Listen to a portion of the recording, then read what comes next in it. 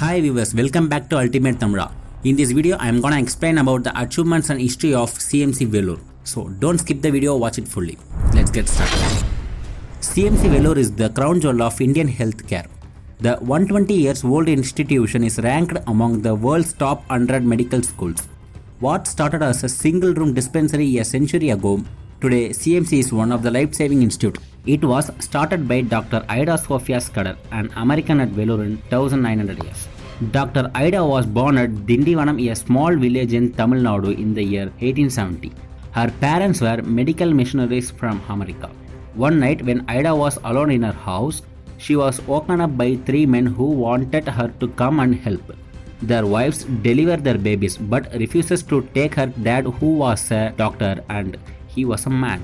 The next day she heard that all three women lost their lives. It was that day Ida decided to become a doctor. She went to America to finish her medical graduation. She returned to India immediately after her graduation. Upon her return, she opened a small single bed dispensary at Vellore in 1900. In 1902, she built the Mary Taber Schell Memorial Hospital for women with 40 beds. In 1903, she started training women as women compounders. In 1906, she started a program called Roadside Dispensaries. She took a bullock cart and converted it into her dispensary, then started visiting to the rural villages. In 2009, she started training for nurses.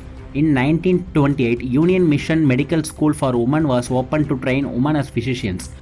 When the government passed an order that medicine should be taught only by university in 1938, Dr. Ida upgraded the institute as Christian Medical College and affiliated it to the University of Madras, which started offering MBBS degrees. In 1945, a laboratory technician courses were started. In 1946, India's first nursing college was started in CMC. First batch of men were admitted in the year of 1947.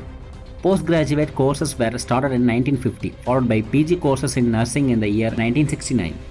The CMC has been a pioneer in many medical achievements in India. The world's first reconstructive surgery for leprosy affected patients was conducted by Dr. Paul Wilson Brand was performed at CMC. India's first physical rehabilitation center was established by Dr. Mary Varghese was opened at CMC Vellore. South Asia's first neurological department was opened in CMC Vellore. India's first middle ear microsurgery was performed at CMC. India's first successful open heart surgery was done at CMC. India's first kidney dialysis treatment was done at CMC. India's first nephrology department was opened at CMC. India's first successful kidney transplant was done at CMC. CMC Vellore played a very important role in eradicating polio.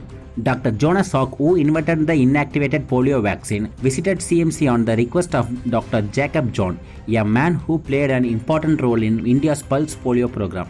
Vellore was the first district in India to be declared polio free.